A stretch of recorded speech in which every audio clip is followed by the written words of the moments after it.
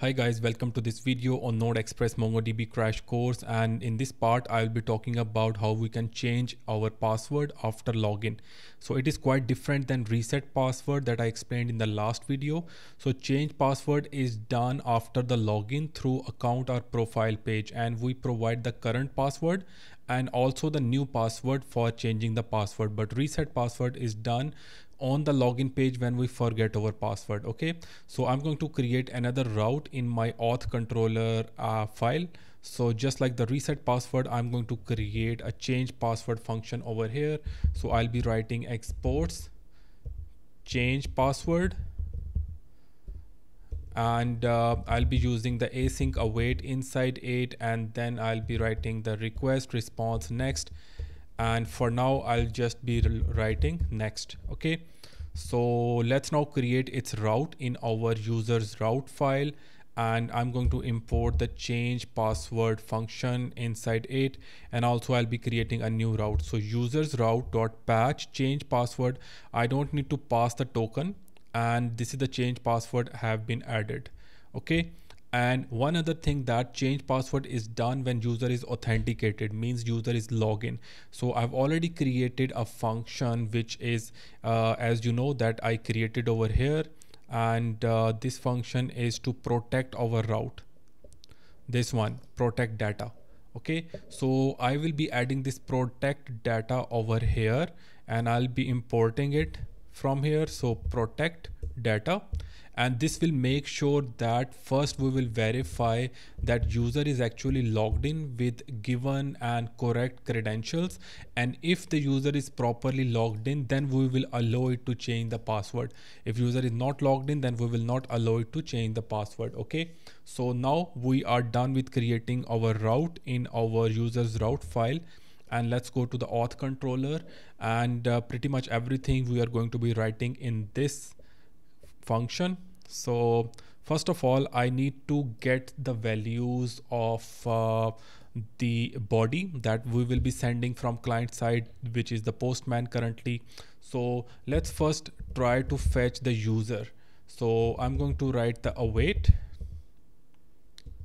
user dot find by ID and then the user ID will be getting from the user dot underscore ID and uh, then we also need to get the password and this password we are actually getting in order to check if the password the current password which is being sent from the client side is actually equal to the password which is already stored in the database for this particular user which we, we are getting from this id okay?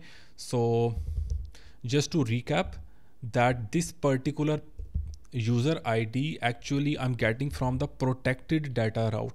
If I go up and this is the protected data route and if you remember that at the end of it I actually store the user in the request.user object. It means that any route controller which have a middleware protected data and this particular route is going to have the user object already because we are logged in with the protected data middleware okay? So now let's go down and this will be the user that we are actually receiving and I need to explicitly get the password. Now we need to verify if the current password which is sent from the client and this password of the user which is stored in the database are actually equal or not. But stored password is in uh, encrypted form and this password will be in the string form which is coming from the client side.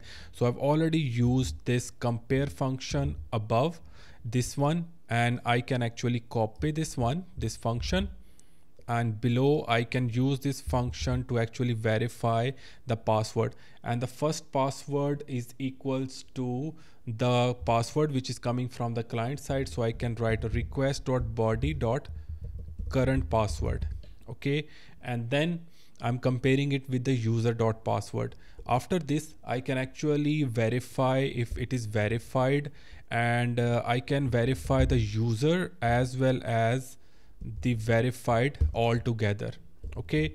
And uh, inside it I can write response dot status 400 and then dot json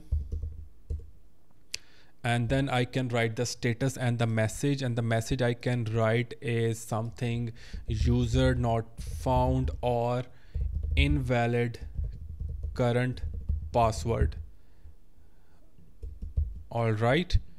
So this is what I have verified. After this once the user is found and the password current password and the password in the database for this particular user is actually equal the user which is logged in then we will proceed further and store the password fields in the database. So I will be writing user.password equals to request.body.password and this password is coming from the client side and then I can write user.password confirm equals to request.body.password confirm.